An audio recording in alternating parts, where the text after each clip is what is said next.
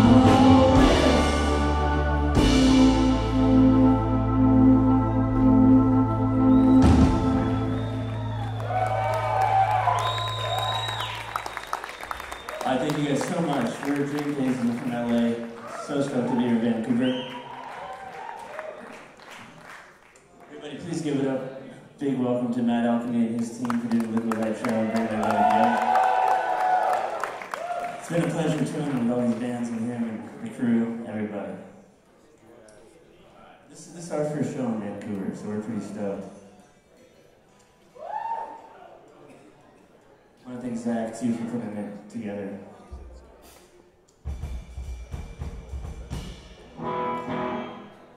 This is a new song.